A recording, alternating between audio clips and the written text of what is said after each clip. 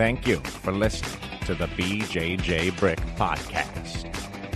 We'll be bringing you Brazilian Jiu Jitsu and good times. We hope to flatten your Jiu Jitsu learning curve, help you get the most out of your grappling ability, and meet your goals both on and off the mat. Welcome back to the BJJ Brick Podcast. This week we have episode 274. I'm Gary Hall. I'm here with my partners in crime, Joe Thomas, Byron Jabara. A lot of people call these guys the Ren and Stimpy of podcasting. How are you guys? oh, I'm pretty good. How about you, Gary? Uh, doing great. Yeah, I'm also doing good. I I'm trying to think of a Ren and Stimpy quote, or I can't think of it other than "you idiot." But, uh, I think Ren would yell it at Stimpy. I'm not sure, but uh, yeah, we're doing great. Happy to, to bring this episode to you. We have Karen Antunes on the podcast this week as the interview. She's going to bring you a lot of good information.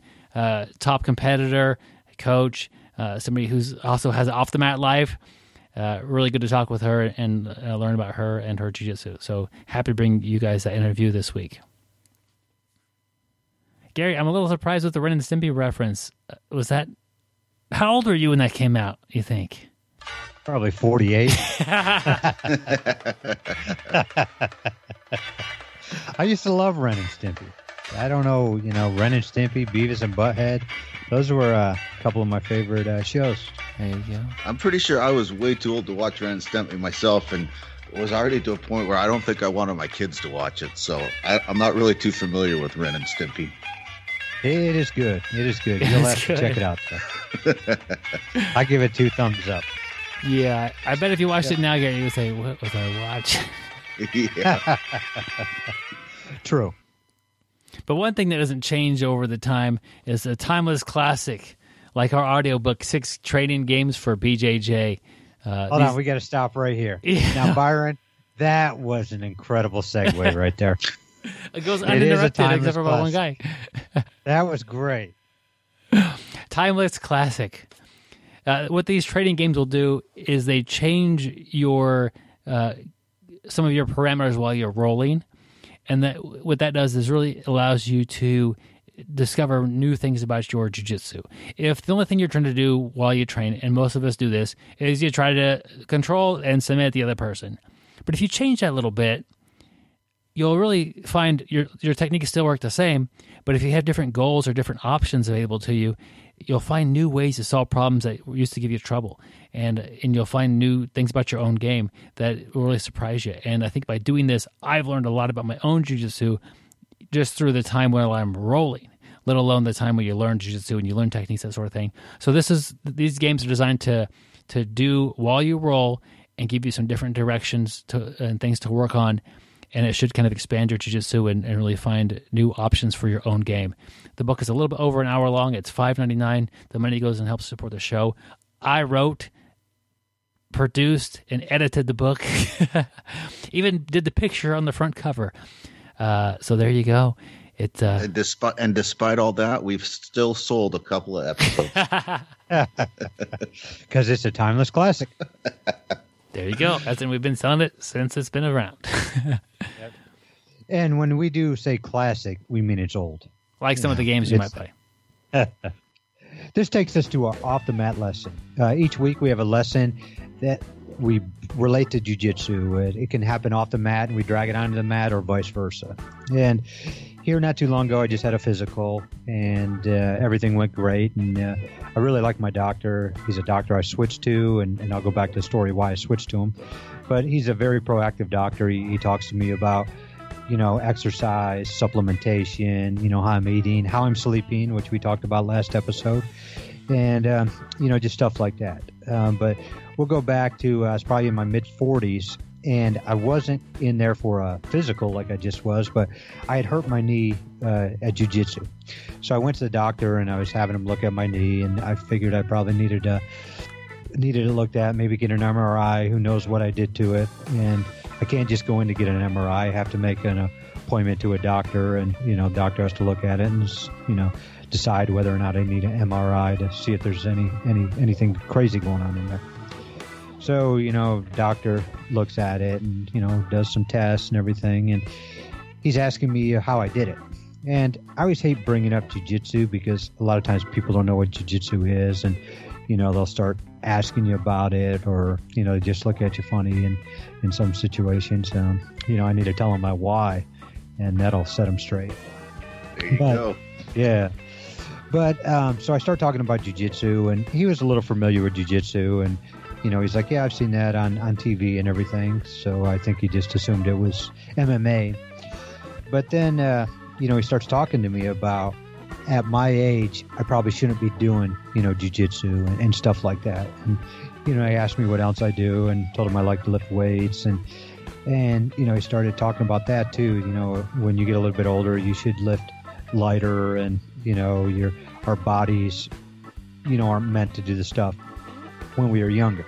And you know, I've talked to my dad about jujitsu. I've talked to people who don't necessarily train jujitsu, and I, I hear the same thing all the time. You know, hey, at your age, maybe you shouldn't be training jujitsu. You know, I see you walking with a limp. Um, you know, but hey, I'm not. You know, you didn't hear me complaining that my knee was hurting. You saw me walking with a limp. You you, you automatically assume, you know, that jujitsu is not good for me. And and you know, I've I've heard always about as you get older, you know, hey, we should stop lifting heavy. You know, it's going to hurt our knees. It's going to hurt our joints. Uh, this and that, just like jiu-jitsu. And you know, the the one thing I like about my new doctor is, you know, as soon as I, I and that's why I quit that doctor. You know, I was like that doctor. I, you know, that's ridiculous in my opinion. You know, my new doctor's like, hey, man, this is great. You know, I love it that you're still exercising. I love it that you're still in the gym lifting weights. I love it that you're doing this. You know, my my old doctor wanted me to do uh, basically water aerobics. You know, non-stressful stuff. And That's how. That's against- how. Interrupt. That's how old Gary is. yeah, yeah. You know, nothing against water aerobics. I'm not meaning to put that down, but you know, and, and I was talking to my buddy here just this last weekend, who's a who's a fitness trainer, owns Forge Fitness, and Miles Brown. We've had him on the show here before, and we were talking about that, and uh, you know, a lot of times we baby our bodies too much. We we don't really know what it's capable of, and if I don't get out on the mat and you know there's people all the time i'll talk to and they'll be like hey you know i'm, I'm 45 years old it's probably too late for me to start training absolutely not. It is not too late to start training. You know i, I want to you know lift weights. I'm 50 years old. You know it's probably too late. I'm past my prime. Absolutely not. Get out there and train. And i think sometimes we uh, doctors and you know people just throw their opinions out there. They, they really aren't into the fitness lifestyle. They don't you know they haven't done research. They don't know a lot about about you. You know they're not asking me questions about myself. They're just asking me what i'm doing and then telling me it's wrong. But i, I think sometimes we just we just listen to naysayers. We listen to people who say we can't train jiu-jitsu. We listen to people who say i can't do this particular move in jiu-jitsu. Um, you know i can't invert. You know i'm 51 years old. I don't like inverting but i can invert. Whenever i put that notion in my head that i can't do it it's never going to happen. Um, you know, if I listen to these so-called experts who tell me I shouldn't be doing stuff at this age that I did when I was 35 years old, you know, where would I be today? I'd probably be sitting around with a, a you know, Dunlap's disease and you know, drinking beer and you know, 40 pounds overweight. But I'm stronger today than I was at 30 years old. I'm better at jiu-jitsu today at 51 than I was at 45. I'm better at jiu-jitsu than I was at 35. It's you know our mind and our bodies can go a long way. It's uh you know we need to test them, and I mean we need to test them smart. Like I I don't want to go um, and put a thousand pounds on my back and try to squat it. You know that's just going to be a recipe for disaster.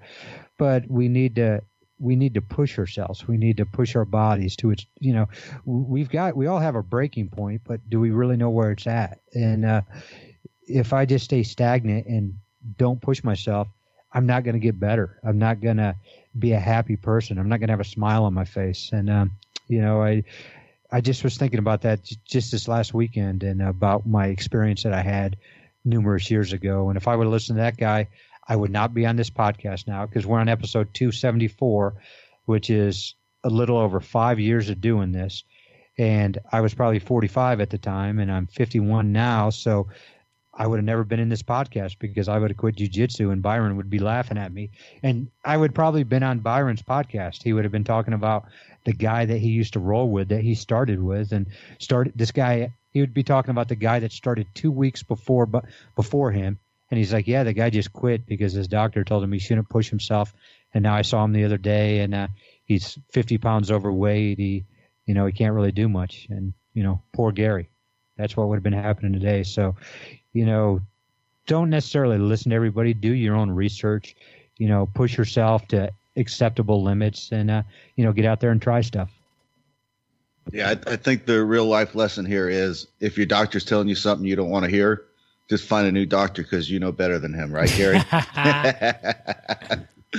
No that yeah. actually yeah. there's so much truth to that though about not letting people tell you what you can and can't do and um, so I, for one, am glad you found a new doctor, and I'm glad you're on the podcast with us, Gary. Yep, and he yep. got those rashes all cleared up as well.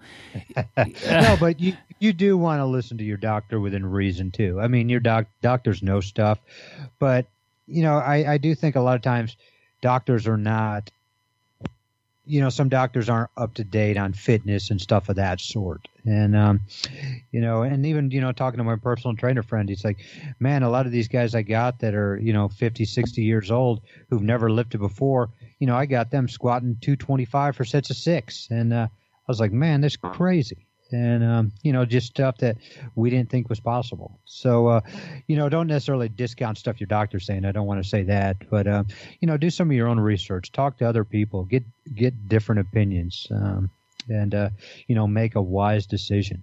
Yeah, Gary. Uh, here's what I think happens with most people's doctors, and we could do a whole episode on this, and we we got to get to interview it with Karen in a little bit here, but uh, whenever I learn, and I've got several doctors in the family, or I if I meet a doctor, I like to talk to them if I'm able to chat with them, um, and, and, see kind of what their perspective on things are. And more often than not, I hear like like my sister is a pediatrician. She will tell people your child is overweight. He needs to exercise and eat better. And, and she'll go into details of how to do this.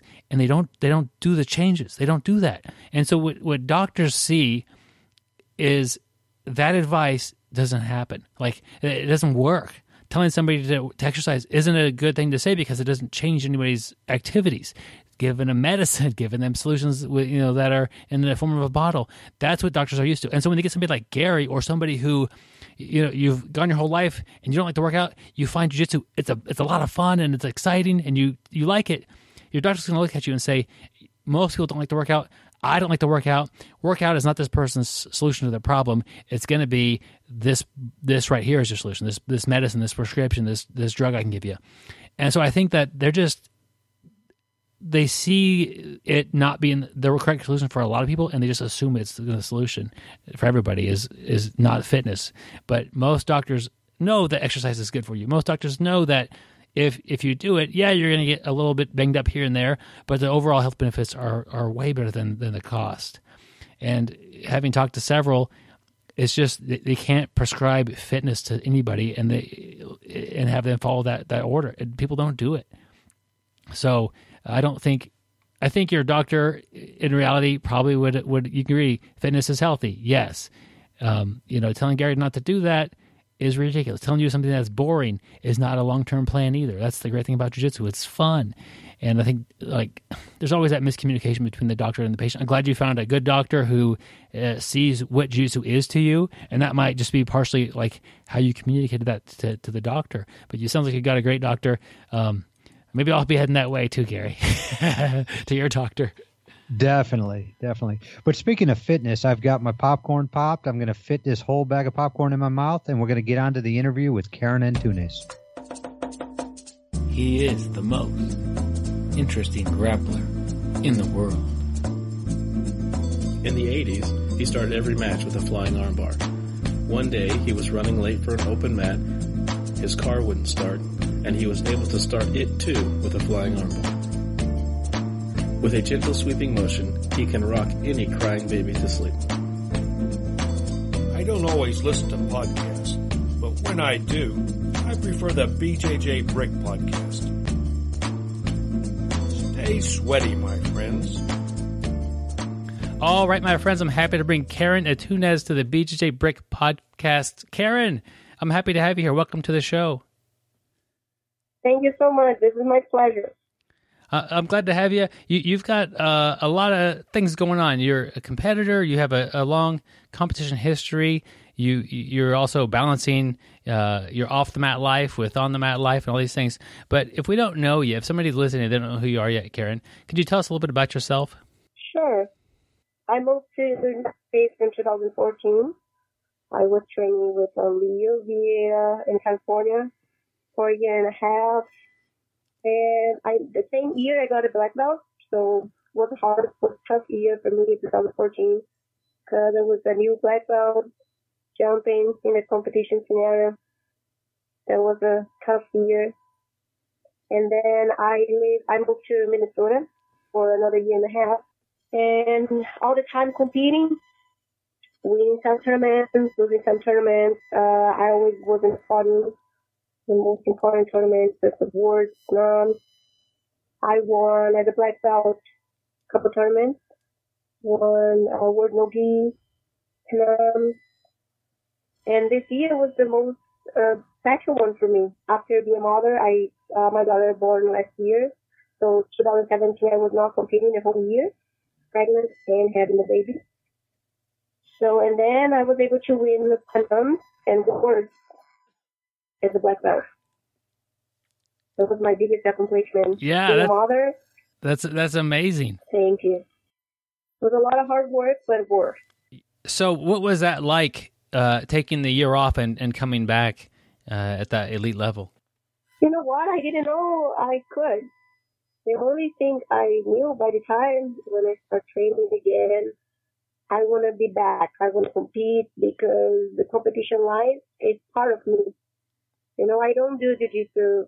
I respect people who does just for hobby or something, but jiu-jitsu is a big part of my life. And competing before being a model was everything for me. And I couldn't choose motherhood or jiu-jitsu. I wish both. So I start training and, but I, I didn't know I could win. You know, I just want to be back as good as I could. And it's what I did. So I, I won. do you think that you'll always compete? I hope so. Do, do you think if you're not uh, able to compete, you, you won't have the same drive to train, or do you think you'll still be wanting to train? I think the competition makes makes me have like a goal. Yeah. You know, I don't think so. When I stop competing, I'm gonna train as hard as I do right now. The discipline I had, I feel like I don't have a, a reason to do all this hard work. You know what I mean? Yeah, that that makes sense. If I stop competing uh, jiu-jitsu, I, I need to find something else. Or competing just as a master, or even do MMA. I don't know. Because it, I love the, the challenge of doing something. I love the, uh, the thinking of always proving myself. Not for the others, but myself. Why do you, why do you think that that is that you like that challenge so much? Uh, I don't know. I really don't know. I just like the feeling when I'm not competing and when I'm not getting ready. I don't feel like I'm having a good time. I okay. don't feel like I'm having a vacation. You know, like I like to compete. I like to do something. And I just find out I was 23 years old when I did my first competition, my first jiu-jitsu competition. I have a tough uh, childhood. I mean, my family was poor. I I have uh, six siblings. My parents couldn't uh, couldn't support support back in Brazil, so I just did when I could pay myself. And I fell in love with jiu-jitsu. Maybe it's gonna be another different sport, but it was jiu-jitsu. So I, I paid myself there when I was 23. I, I find the happiness for me. How did you just? How did you find jujitsu? So my my I was gonna uh, tell my brother by number. My brother number two. He he was he was a tough kid, and he, the only thing when he was teenager, the only thing make him stay in the right, you know, right way, being good when he was training jiu-jitsu.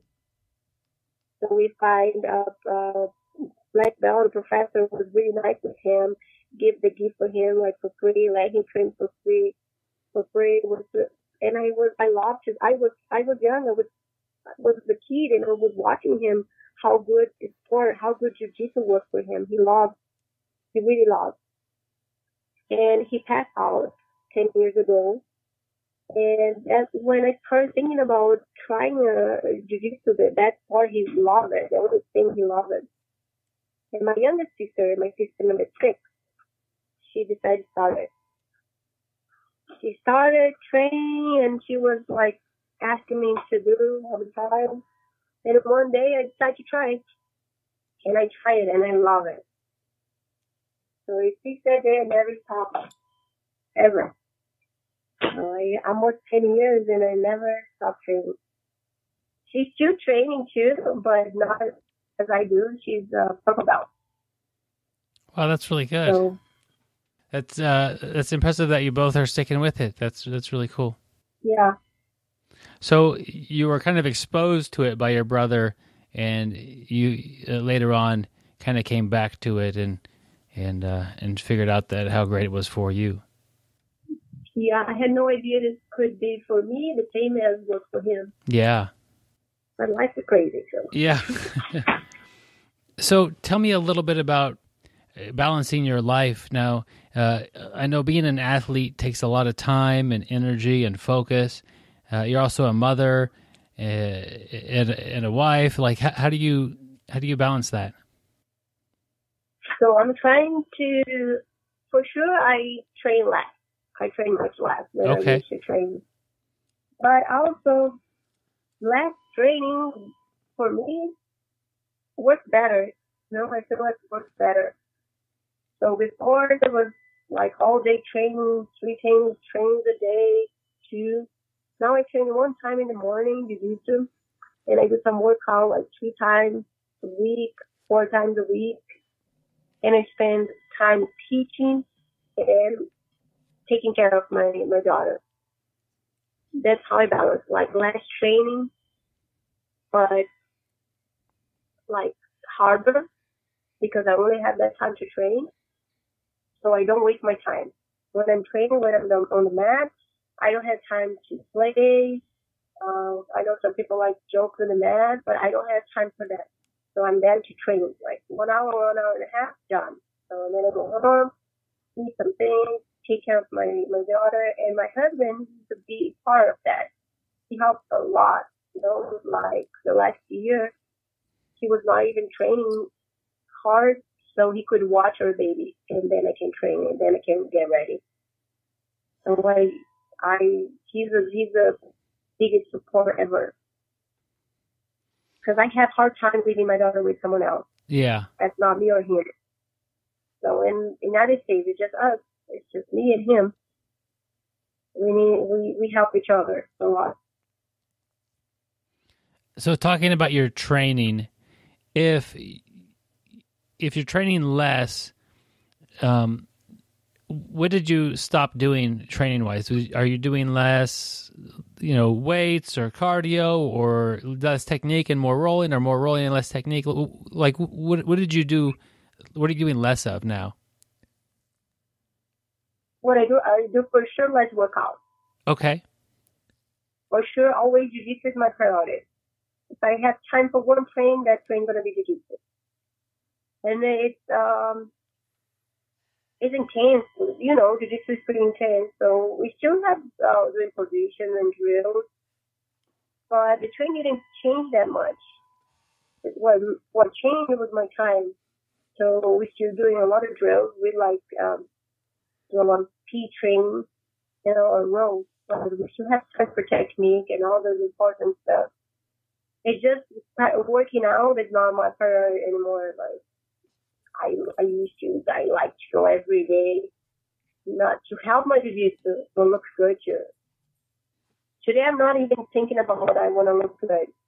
I want to have a health body to help in jiu-jitsu. Because one need the other, for sure. Karen, can you describe your your game a little bit? Some of your favorite techniques and what you like to do on the mat? Uh, my game is always, uh, it's been always a top game. You know, I trust my guard, but since I started, my, my husband, he was my, my professor, he was my coach, he always told me, you're, you're, you're the different thing from the other girls because you have a strong top game. All the girls do, do guard, you know, they feel more comfortable. Even I, I like to do guard, but when I go on top, I feel I got advantage. That's the my my baby, the top game. I love being top. I love the pressure. I love the speed. Like I love being watching Leandro Lo. I got inspired by him. Like not just me, for sure, a lot of people, but I love his techniques on top, for sure. Do you have a favorite guard pass? Not favorite pass, like not by name, not by name, but I do a lot of like opening guard. I don't want to be inside the guard. Yeah. So it's a lot. It's a lot of speed and switch rips. Karen, uh, do you do you work a lot of takedowns, or do most people uh, end up pulling guard on you and you can just go over top from there? No, I always go for a takedown. Always go for a takedown. I, I never did judo. All the takedowns I know is a ju- uh, jiu-jitsu takedown. Like it's not, it's not that fancy, it's not beautiful, but always looking for get my my my opponent out of balance. To start from to start with two points. That's always a try. Always. It's not every time it's possible, but always try. Do you typically train with with guys or ladies, or is it a pretty good mix? I like to train with good partners. Okay. Doesn't matter if they're doesn't matter if they're women, doesn't matter if they're men. Uh, I had a really good girl. I can't complain. I have really good guys that I can't complain. I'm pretty lucky with my team. So that's I, I, like that answer. That's a that's a really uh, insightful answer. You like good partners. Tell me what makes a good partner besides somebody being really good at jujitsu. What makes a good partner? Well, I mean, a good partner, you know, the partner was not never complain about how they they are tired or how or if they are hurt. A good partner, if they show up ready, ready for training. Because if I'm hurt if I'm that tired, I'm not going to show up to train because then I'm going to help my partner training. You know what? The day I don't feel good, I would like not go training. I rather there than be a bad partner. For sure, we always have a, a hard day, a hard day when everyone's going to beat you up, but do not mean that you're feeling bad. It's just your bad day. It doesn't mean you are hurt or you're overtired. A good partner, even they don't have a good day, they're there to support. You know, about competition, it's harder because we have to be really, really selfish. Then it's like competitor, we are selfish because we gotta learn ourselves. That's why I don't like to train when I'm teaching. It's different, like coaching mode. You know, like I'm gonna stop a little bit, talk with the students. I don't have any reason to smash my students they go hard and don't let them do anything. I need to be in that spot so them can my students can try something. The competition training for me is totally different from the training I do at the gym, at my gym when I'm teaching. So I try to be a good partner being like that. Be there for my, my friends, be there for my partners because you did so you can do by yourself. Right? I can I can go to the gym and do some drills by myself, but not the same. I need people, so I need to be a good for my partner. Make sense? Yeah, that doesn't that does make a lot of sense, and and it's good that you're like you're one of the best of your training partners. You, you talk about uh, uh, you know training and teaching and, and keeping those a little bit separate. There, uh, when do you start training for a tournament? How long before the tournament starts? Do you stop teaching so much and start training more for yourself? I usually like we're you know we're always training so hard because it's a tournament after other, a tournament after all other. But when it's uh, always like five weeks, six weeks, one month and a half before the competition, we got like more serious, like more hard. Uh, yeah, six weeks. Okay, and do you? But I mean, not not always training, but the last six weeks, like last six weeks for work for Conan. So when we go really hard. Yeah. You've done both gi and no gi. Do you prefer one over the other? Not that, that I prefer, but I just feel like no gi, it's harder. The training is harder. You're always really tired because, you know, it's, it's more aggressive for sure. Training with the gi for me, it's more kind of natural. Uh, I don't get that tired. I don't get that hurt. My body doesn't feel all the power. But no gi is harder, but I like it. So I'm glad we don't train as much as we do with the gi. Because I don't know if my body could handle. My style is really aggressive. I like to train. Uh, I don't like to waste my time, you know. So every time, every train, I feel so tired. And no gi, I feel double tired. Why do you think that is? Do you think it's your your style of play that makes you um, use that more energy in the no gi, or is it just you're used to playing in gi? Yeah, I think that's the style with the gi. With you don't have the gi to stop your opponent. So, and usually I train with the, the guys that are stronger than me, so I need to use my speed to be in a better better position than them. Uh, with the gi, it's different. With the gi, I can hold the gi and wait for it and hold guard. You know, no gi, it's no way. You gotta keep moving until you get a good spot. Yeah, there's definitely those differences, and and uh, I think everybody has different things about them that they like. Do you think that that training no gi helps your gi game a little bit? Sure, I'm pretty sure that the no gi for sure help us doing the, gi. You know, when you train or you compete with that partner, always use the gi really small. You cannot do the grip. So you're still able to train because you know the no gi grip. I think one helps, really helps the other. Yeah. Uh, what do you do to if you're doing off the mat training? Let, us just say you're not able to make it in or something like that. Do you do anything um, to help keep conditioning up or strength or flexibility? Mm, if I cannot train jiu-jitsu, like when I was pregnant, for example, I was doing all kind of training, HIIT, uh, CrossFit, workout, something. You know, if you cannot work if you cannot, if you cannot squat, go swim, but do something. Never keep uh, be a victim on the side because you hurt your leg, you hurt your knee, and you can do anything.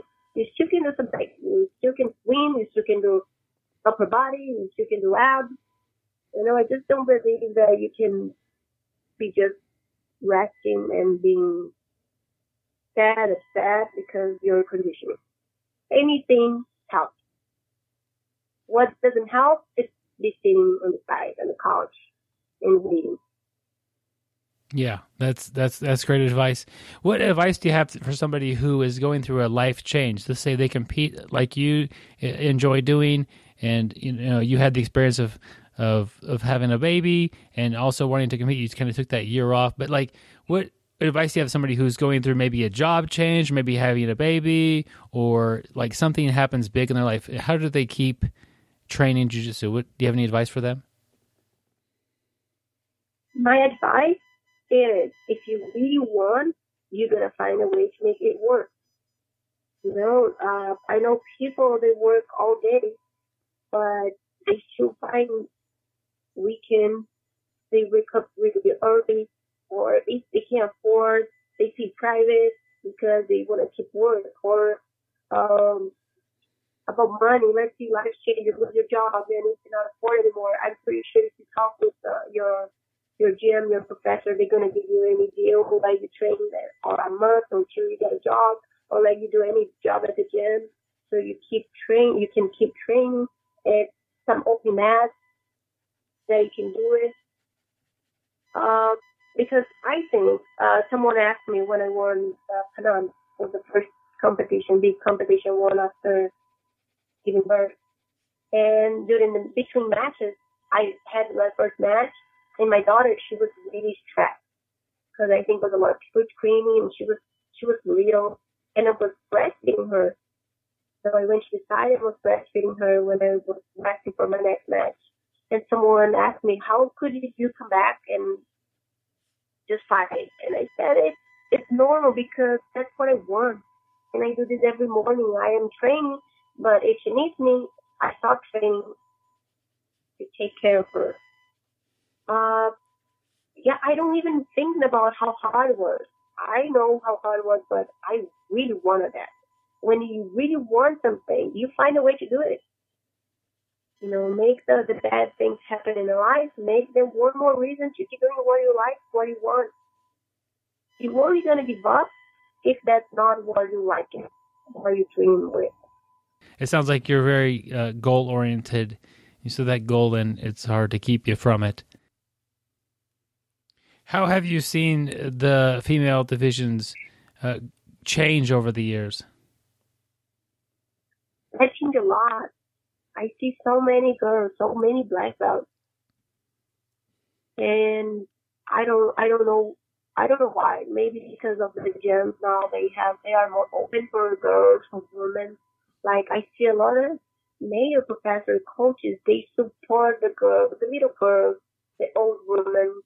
You know, they really like having the woman at the gym. And I think that's why more women keep training, keep coming because they feel comfortable. They don't feel that that mat, that space, that gym is just for men. Women feel good at the gym, how it's supposed to be it's great to see it see it grow, and I think that yeah, the coaches are are, are a big part of that. For sure, because they have the power. They have the power to make us feel good or make us feel really bad and uncomfortable. Uh, what do you do as a coach that you think is different than most coaches? What I do, uh, you know, the role of the years, I learned a little bit of training and coaching everyone is different. I can't, I can't teach everyone the same. So my oldest student right now, she's 61 year old. You know, I can't teach her the same as I teach a teenager boy. It's a totally different environment. Uh, I try to make her comfortable with everything her her body is able to do and progress, low progress. I think that's the big biggest uh, accomplishment for me as a coach. Learning people are different, learning how to talk with different people and encourage them, push them in a good way. You know, and I'm still learning a lot. I'm gonna do my mistakes for sure, but when I see like uh students like her, her name is Kay Catherine, like she keeps trying, she keeps evolving, her body keeps moving, more mobility. I feel proud of myself. The same when I watch a kid that I teach, how the kids improve when uh, some kids are really shy, they tired, they don't know how even touch each other. And at the end of the month, they're laughing, rolling, hugging each other. That makes me feel good and I'm doing something right. Karen, do you remember your first tournament and what that was like? Yeah, I do, because it was not a long time ago. Remember? what was that? Uh, what happened? What was I, it like? I did my first tournament. I was training for only three weeks. I was yeah, it was the end of April. I remember it was in Brasilia, my hometown, and uh was a she was yellow belt, adult yellow belt. I don't get it, but anyway, um, I did her a double leg and I just held her on the mat for the three minutes.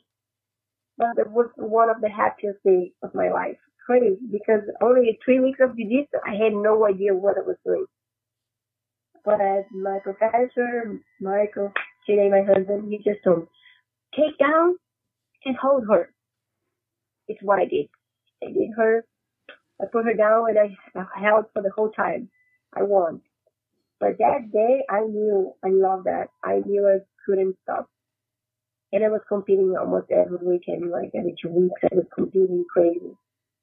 And I think that's why I I evolve a lot. I, I got that progress because I was competing. And competition brings something you don't learn at the gym. You see your mistakes, you can fix something. When you just train at the gym, it's hard to see what you do wrong, what can get better. And I'm I always always hungry for learning to get better. Competition was a big part of that. Learn fast. I got a black belt in five years. Uh, crazy, but that's amazing. Thank you. So you got some good uh, advice early on during that uh, first tournament. Uh, you know about getting a takedown and, and and controlling and holding. Um, does that affect the way you coach new people? Do you think about that at all? Like trying to give them like simple advice that you know that they could do? Sure. Uh, I still do that. Like I like basic stuff. You know, I like always uh, for beginners we teach a lot close. When I teach beginners, for example, I teach some techniques from guard. But when I teach the higher belts, I still teach them some guard. I like the basic jiu-jitsu. Like my jiu-jitsu is not that fancy. When I teach, when I roll, it's different because I like to be loose. I like to keep jumping, switching sides. But I just like the basic and the same, the same uh, device I do before competition. I tell my students go straight, focus, and do the basics. Like Roger Gracie.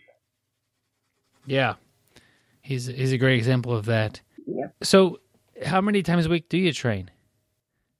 Jiu-jitsu. Yeah. Six times a week. So do you have like a set schedule? Like it's every it's these six days and not this one? Uh, yes, uh, because I train Monday to Saturday. And okay. I Sunday. Sunday is rest day. What what advice do you have? Because some you know there's a lot of people out there that train that they can't train six days a week. Um, what advice do you have for somebody who has like a more limiting schedule? Maybe they only train two or three times a week. Um, you still can train two, three times a week, but if you compare uh, the speed of learning, more you train, more you learn. It's no secret. Less you train, less you're gonna be less you're gonna be learning, less you're gonna be catching up. It doesn't mean that's not work. Training is always work even if you can train just one time a week. But you can't compare yourself with someone who's training every day. That's the difference. Because we don't teach the same thing every day at the gym. You don't train with the same partners every day at the gym. So you got a lot of different sparring, you got a lot of different positions, you got a lot of advice from your partners that you're gonna have just two times a week. You know what I mean? Yeah. So more you train, more you train, more you learn. No secret. But it's also some people have to find that balance to where they they can't train so much, but they still love it and and, and they get better at a little different rate. Yeah, but two three times a week, but the people cannot train every day. I know work, family, it's hard. Three times is good. Three yeah. times is still able to learn Three times is still able to learn a lot. Yeah. Yep, it's it's better than not going at all. you know what helps too? Doing private class once in a while, you know, like once once a month. Do private with someone, some coach, not not necessarily your own, you know. Uh, private that fix so one hour private private class speaks so much in our game. I do do private when I had opportunity to do private. I do because we all need to learn something, and and that's what I feel like the private class helps a lot. So how how do you advise somebody to take a private? Do you do you like the, the teacher to, to show certain things, or like the student to have questions and the teacher helps out? I like to the private because when we roll, the other person, my coach, for example, another black belt, they can feel what I'm doing wrong.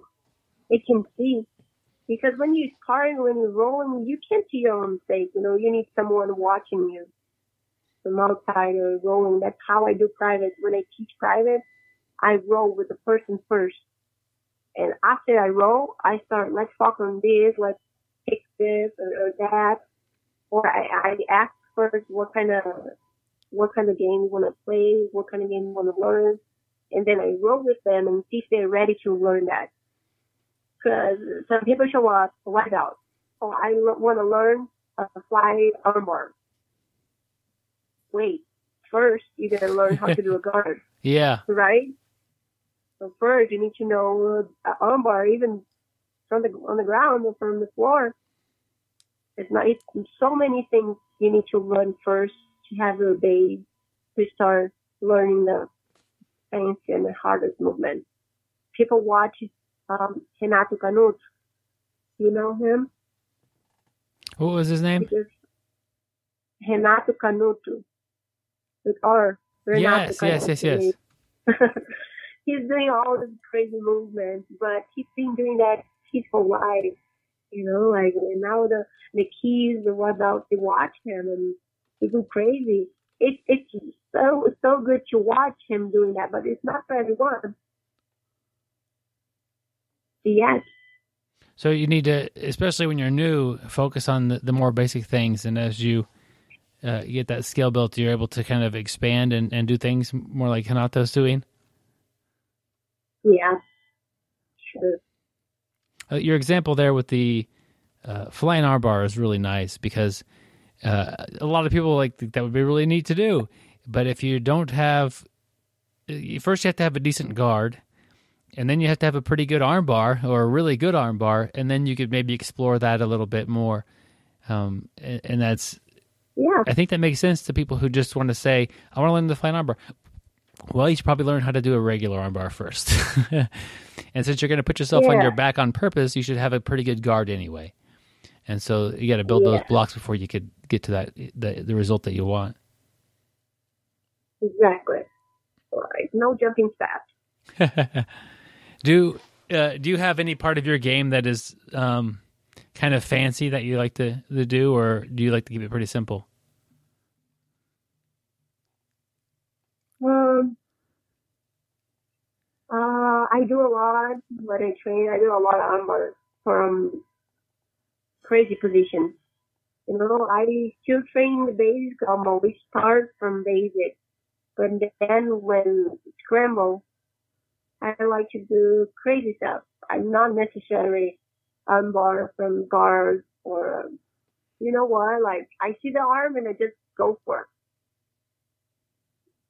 it's hard to it's hard to teach, but uh, works when we find when it's hard. Yeah, because it, I think I, because I think I have a good basic movement.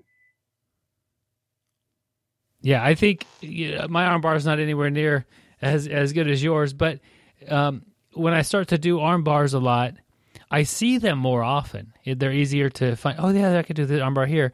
If I get away from doing arm bars very often, I, I don't really see them anywhere until you get the perfect opportunity. So I think, you know, you you have a, a really good fundamental arm bar, and then you could see it from so many other places.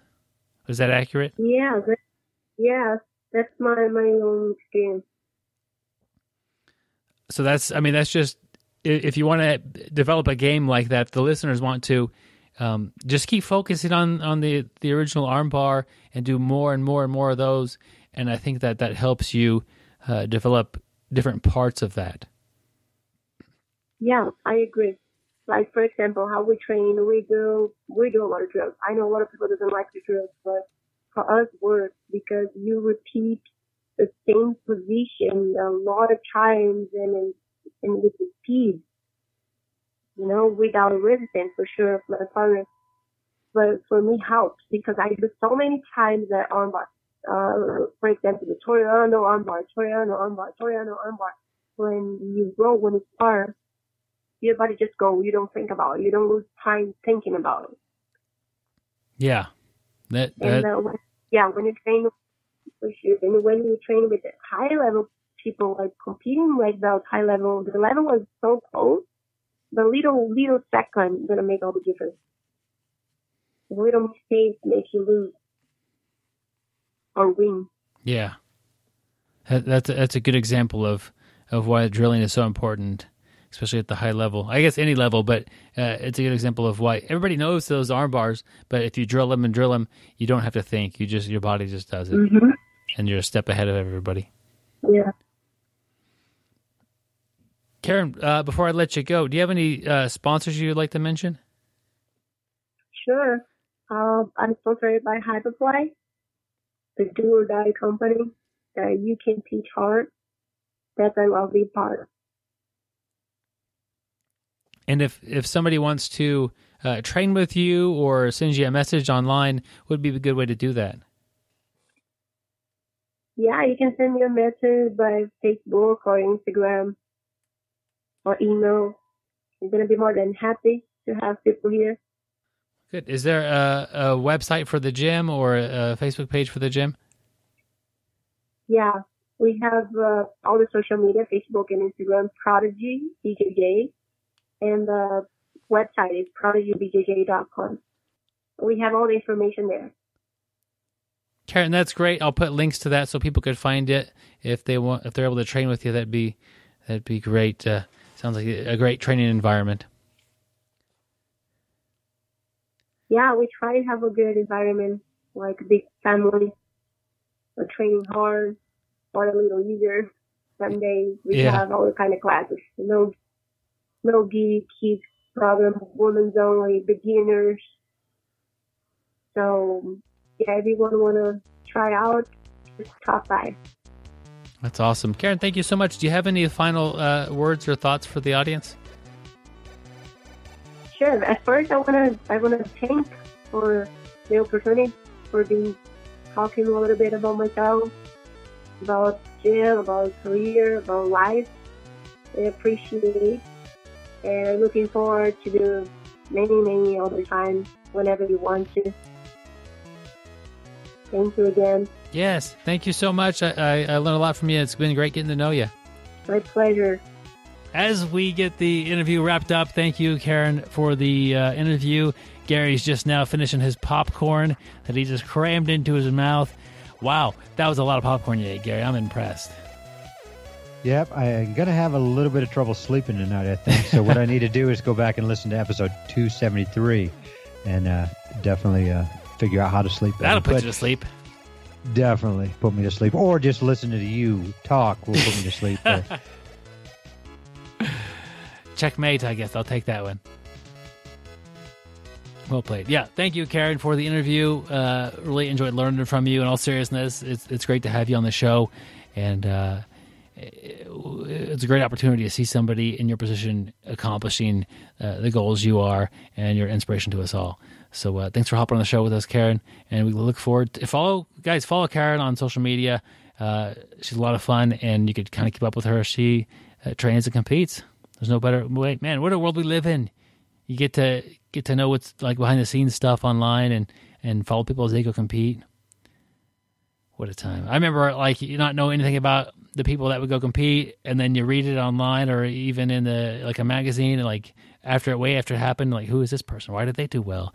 And now you get to see all the behind the scenes stuff. Well, you know what's crazy, Byron, is you said follow her on uh, social media. I just looked her up on uh, Facebook and just friend request sent. So I listened to you well, Byron. I, t- I actually told her in advance, do not accept Gary. He's kind of creepy. this is a very special well, episode. I, am used to I'm used to rejection, so uh, I'll probably get that. Very special episode here, guys, for two reasons. Uh, we saved the quote for the last part of the show, which we'll bring in now, and then after the quote, we have an article written by a guy named Gary. So, Joe, what's up with the quote? Yeah, this week's quote is brought to you by Mario Andretti, uh, pretty good race car driver, I think. Uh, uh, knows a little bit about success, a little bit about achieving excellence. And his quote is Desire is the key to motivation, but it's determination and commitment to an unrelenting pursuit of your goal, a commitment to excellence that will enable you to attain the success you seek. And when I read that, it really uh, resonated with me. Um, because yeah, a lot of people have a desire to be good at something. How many people have picked up a guitar and played for six months, or or they start a martial arts and they train for a year or two? They've got the desire, and that's enough to motivate them to get started. But in order to be really, really successful, you have to have a commitment to excellence.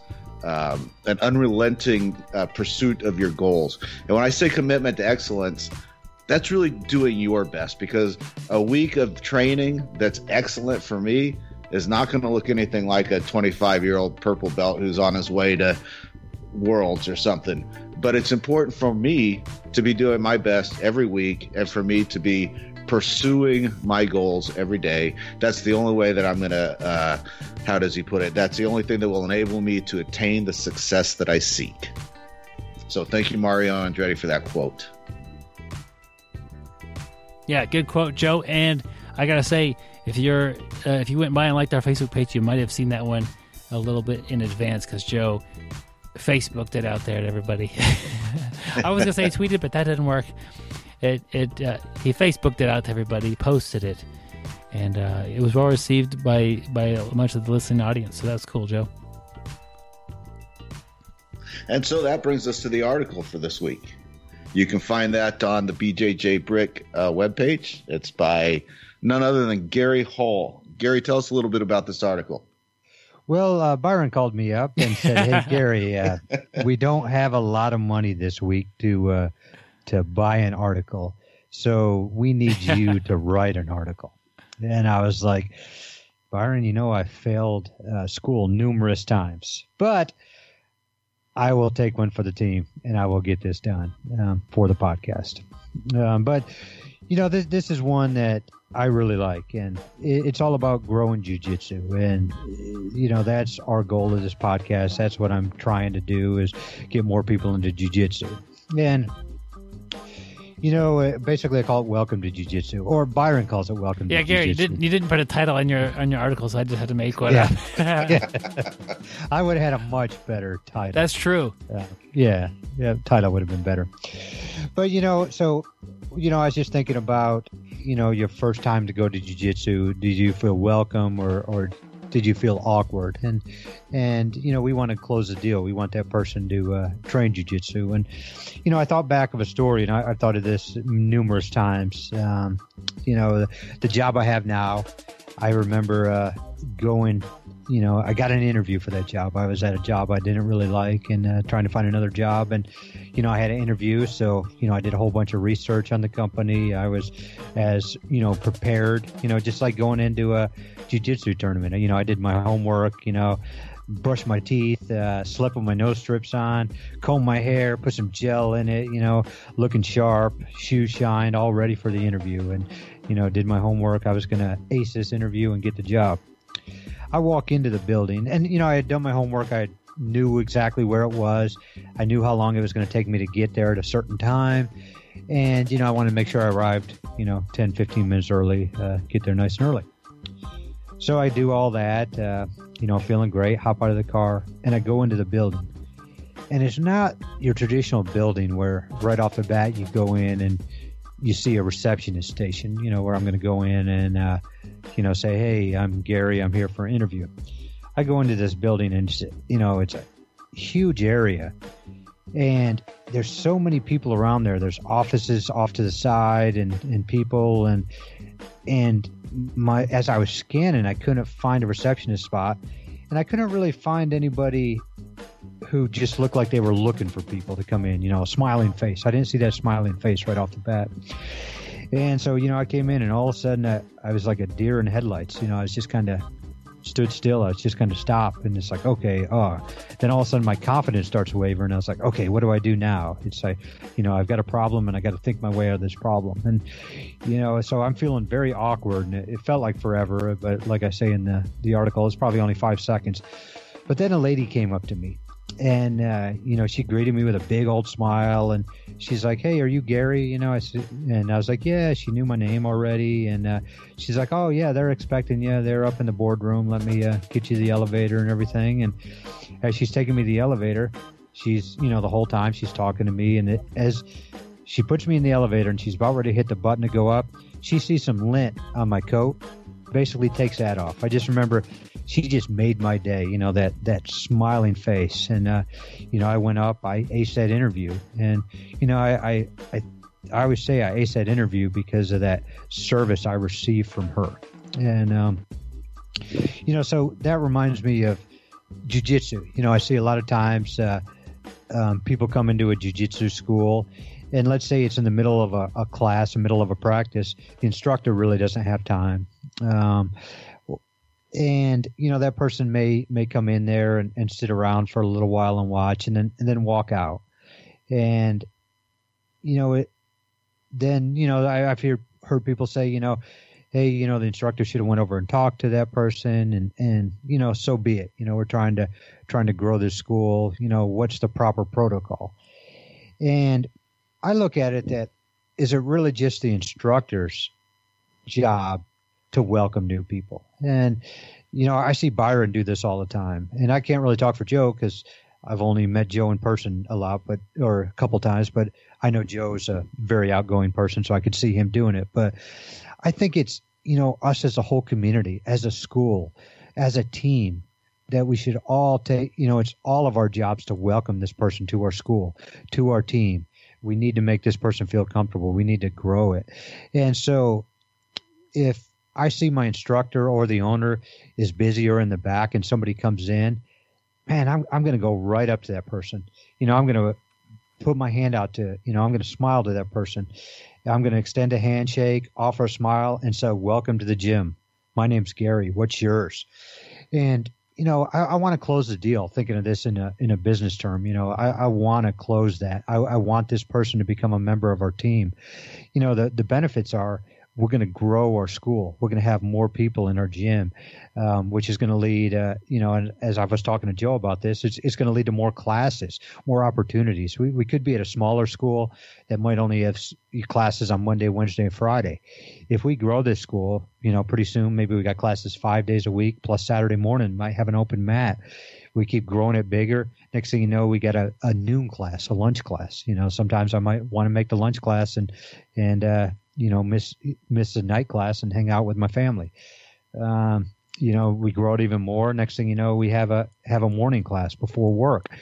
It just gives me more opportunities to learn, more people to meet, more people to make me better, more people to help me achieve my goal to get from step one to step two to step three. And um, you know, I just think that if we all just think about it in terms of let's all grow the school. Let's all welcome that new person in. You know, we've talked so many times about the first time we go to a school. That's the hard part. The hard part is walking in that door the very first time. And if we're all there with a smile and we're all greeting everybody, shaking hands, you know, answering questions, helping them out, we're gonna we're gonna close more deals. We're gonna have a bigger school. We're gonna have more opportunities, we're gonna grow grow jujitsu. Man, that was awesome, Gary. Let me tell you why the, the little bit about her pulling that lint off your sports coat is my favorite part of this whole article.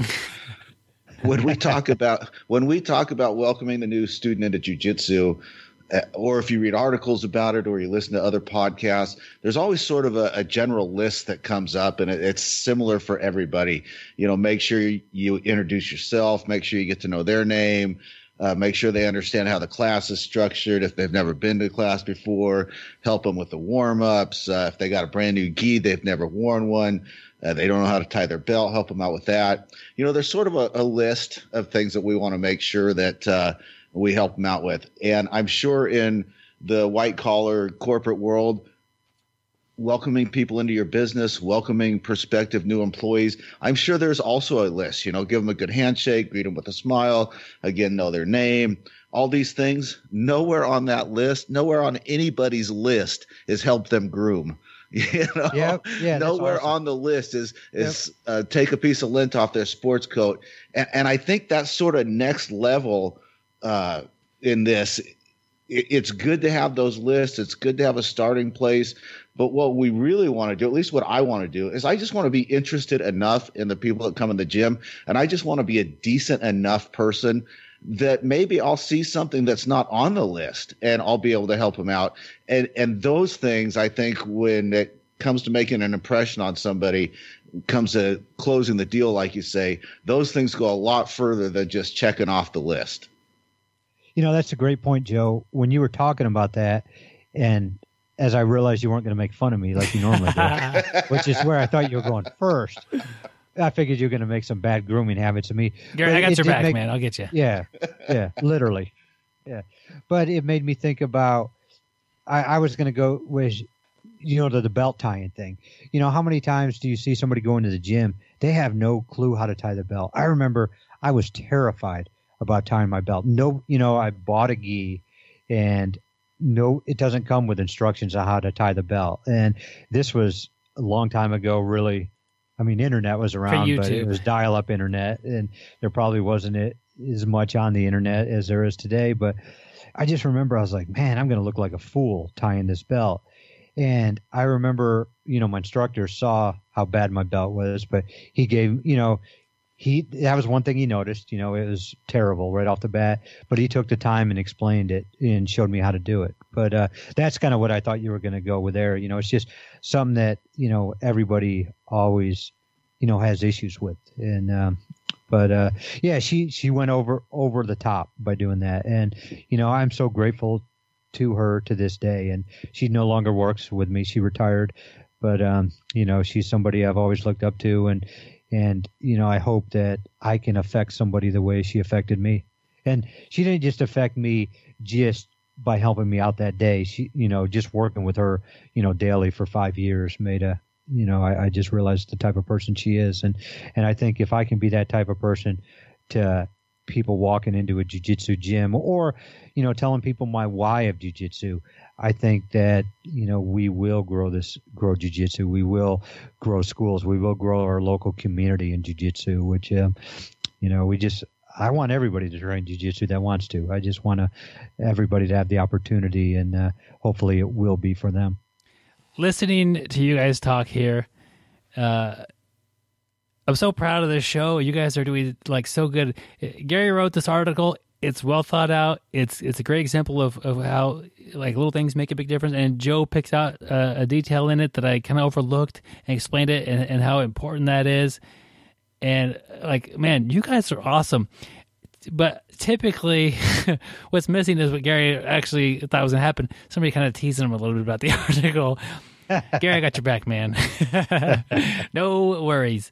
Uh, so she actually, uh, you know, is no longer with the company. Gary able, was finally able to push her out in a power struggle and take her position. he now keeps a, a, a, lint roller yeah. in the desk, but actually, guys, it wasn't even lint roll. Like he downplayed that significance of the story. Significant, like it was lot. somebody's hair because I got in a fight in the parking lot and I put somebody in a headlock. No, actually, Gary, she had an extra pair of sweatpants kept underneath the desk there for when you know one of those kids need to need, okay you need new pants man. Something happened well, just now and you need new pants. So gary gary went into interview wearing a suit and tie and waist down with sweatpants and he's able to pull that off and that was amazing. Well you want to know the crazy thing about her is probably not. our, uh, you remember our old training partner mark?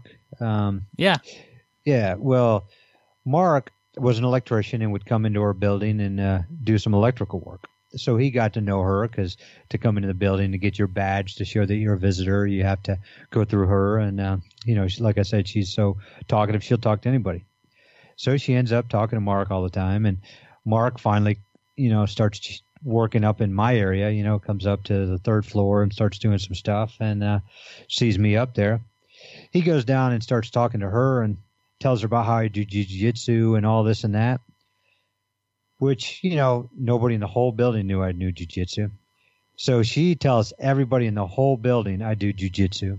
So every time there's any kind of commotion in the parking lot and or you know this is kind of close to downtown so you know some crazy stuff go on i always get called to uh, kick somebody out to you know, handle the commotion in the parking lot. And it was like all because of that one day that guy came in and they found out I did jujitsu. Yeah, I wasn't happy about three, that part. There's three large bikers in the lobby causing problems. Go get Gary. yeah, yeah. It's like, thanks. Yeah, so one there person are... goes against Gary, another person yeah. goes against the sweatpants for when he wets himself. Yeah. three guys with guns in the lobby. Let's call Gary. You know, and what I would do is I would just use my newfound confidence. I'd look them in the eye, and then I would pull guard. They would laugh so hard that I, I could get them out of the gym at that point or out of the workplace and into the gym. Yes. Gary, great article, man. Uh, I, I, look forward to you writing more. And and the, the the style of writing is already better than my style of writing. I've written I don't know how many articles, but this is uh, Gary. You started off real strong, my friend. I will tell you that's the first article I have written. Byron and Joe have probably written written 400 articles, and uh, they uh, made me do this one. So maybe I'll do some others. I, yeah. Uh, so so make ch- make sure and check us out for episode 550 when, when Gary will have his next article. I don't know. I'll, it'll be that quick though, Joe. Might...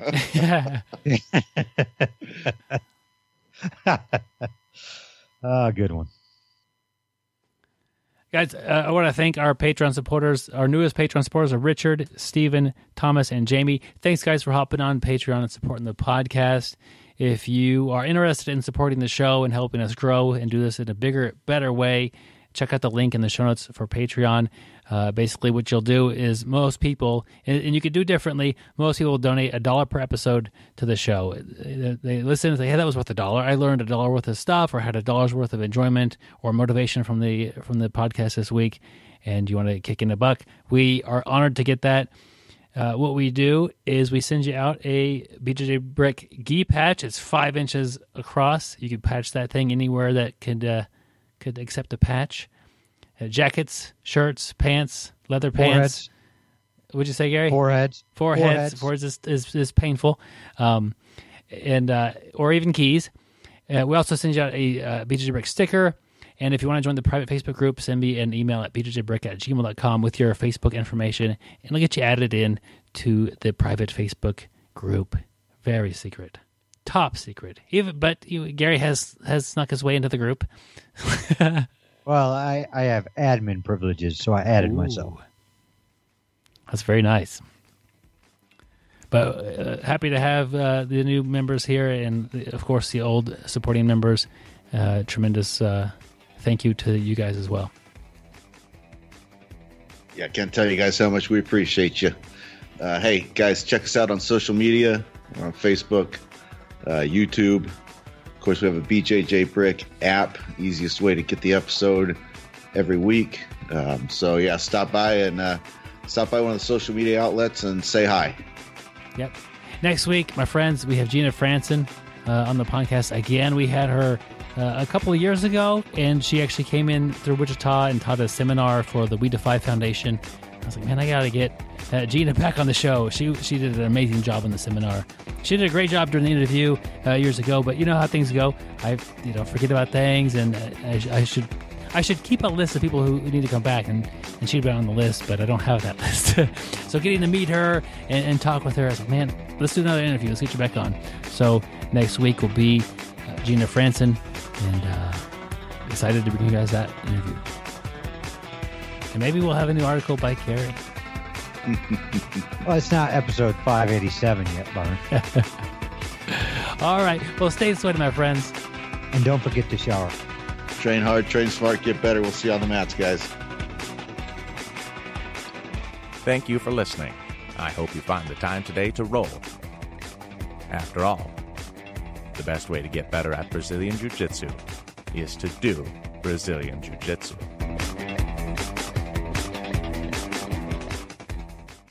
Welcome back to the BJJ Brick Podcast. This week is episode 274.